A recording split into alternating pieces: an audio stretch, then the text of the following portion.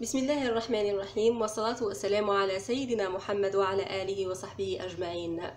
يلجأ البعض إلى رمي قشر أو قشور البطيخ دون الانتباه إلى أن هذه القشور لها فوائد متعددة وهامة لجمال البشرة والشعر وحتى للصحة.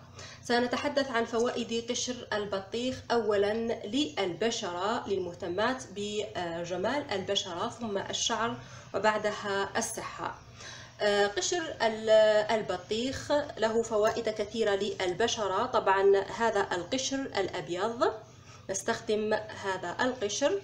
أولا نأخذ القشور بهذا الشكل. نقوم بتقطيعها.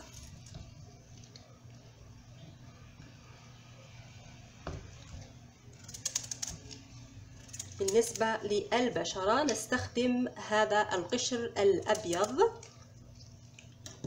هذا القشر الأبيض. ثم نأخذ نشا الذرة أي المايزينا أو ال corn flour. من بشرتها تتحسس من ال corn flour أي نشا الذرة؟ يمكنها استخدام نشا الأرز أو دقيق الحمص. أو الترمس المر. يمكن استخدام الدقيق الأبيض دقيق المخبوزات. فهذه الوصفة لها فوائد كثيرة للبشرة.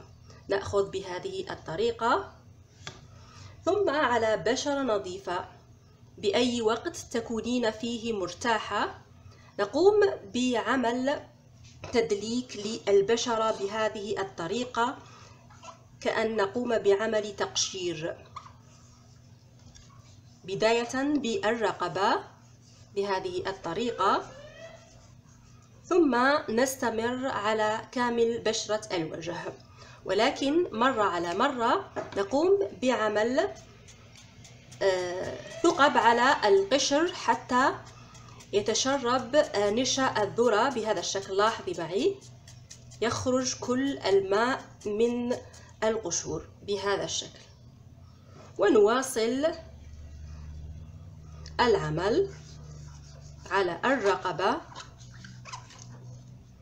ثم كامل بشرة الوجه. بحركات دائرية خفيفة لحوالي خمس دقائق. هنا إذا كانت لديك مشكلة إسوداد حول الفم الوصفة رائعة جدا. والنتيجة تلاحظينها من أول ثلاثة أيام لاستخدامك اليومي لهذه الوصفة البسيطة والمتوفرة في كل بيت. تساعد هذه الوصفة على تبييض البشرة وكذلك شد البشرة ومنع ترهلها وكذلك هذه الوصفة تحد من ظهور حب الشباب وتعطيك نظارة رائعة للبشرة النظارة تلاحظينها من أول استخدام بالنسبة لمنطقة الهالات كذلك. هذه الوصفة رائعة. نستمر على عمل هذه الوصفة. قلت لمدة خمس دقائق وبعدها نقوم بشطف البشرة مباشرة بالماء البارد.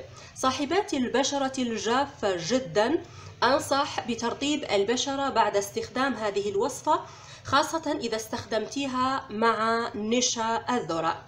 وصاحبات البشرة الدهنية ممكن إضافة قطرات من عصير الليمون إذا كانت بشرتك غير حساسة لعصير الليمون.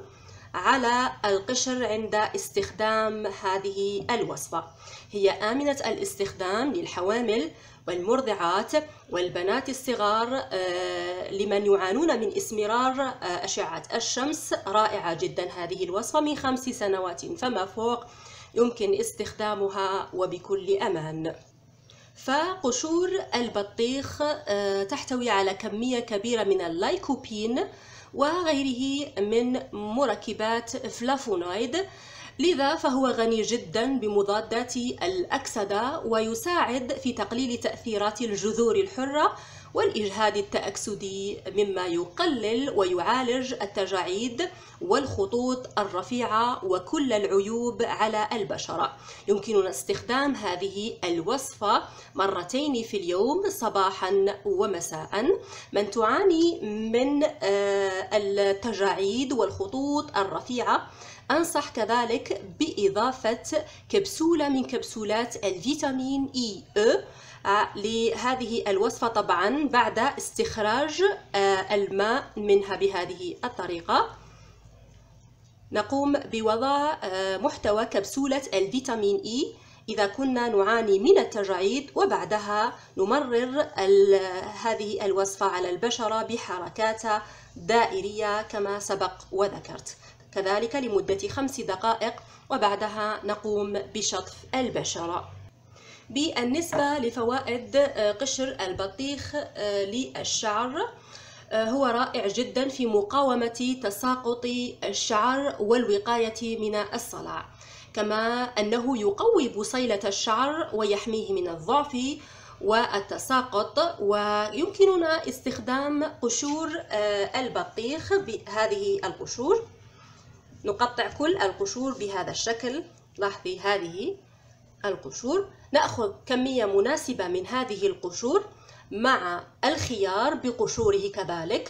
الكل نقوم بخلطه أو ضربه في الخلاط الكهربائي مع كمية من الماء حتى آه، نحصل على عصير. نقوم بتصفيته ويوزع بالكامل على الشعر. نتركه لنصف ساعة.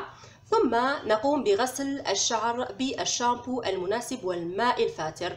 تكرر هذه الوصفة للشعر مرتين في الأسبوع لنتائج أفضل وأسرع.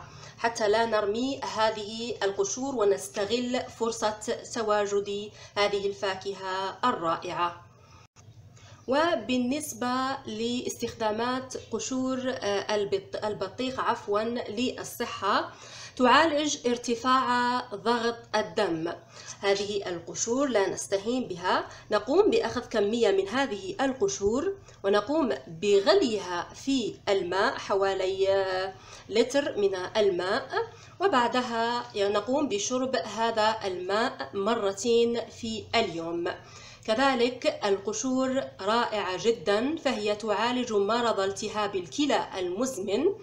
وعن طريق أخذ هذه القشور تقطيعها إلى قطع صغيرة وكذلك توضع في وعاء به الماء على النار. وبعدها نقوم بأخذ آه، فنجان صغير من هذا الماء. ثلاث مرات في اليوم رائعة جدا لمعالجة مرض التهاب الكلى المزمن. وكذلك هذه القشور تفيد بشكل فعال في علاج حالات الإمساك المزمن وذلك بتناولها بعد الوجبات. هذه القشور تنشط الدورة الدموية وتعالج البهاق وعن طريق دائما عمل تدليك على الأماكن المصابة. كذلك هذه القشور مفيدة جدا فهي تدر الحليب عند المرأة المرضع وتفيد كذلك في حالات حصى المثانة والكلى بنفس طريقة آه، استخدامها لمرض التهاب الكلى وهي كذلك تلطف الأنسجة المخاطية. هذه القشور كذلك تعالج مشكلة احتباس السوائل في الجسم كما أنها تعزز جهاز المناعة وتقوي القلب وتحافظ على صحته تقاوم السموم وتخلص الجسم منها. إلى إضافة إلى أن قشور البطيخ تساعد على التخلص كذلك من الوزن الزائد.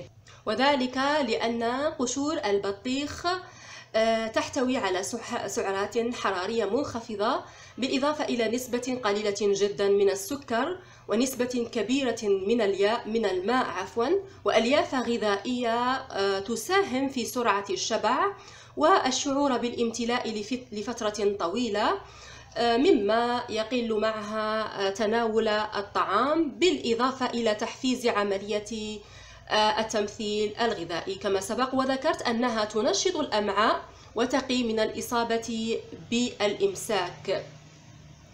آه، لذلك هذه القشور لا يمكن رميها آه، بعد سماع كل هذه المعلومات المفيدة. بالأخير لا تنسوا مشاركة هذا الفيديو مع باقي الأصدقاء كي تعم الفائدة. أترككم في رعاية الله وحفظه والسلام عليكم ورحمة الله وبركاته.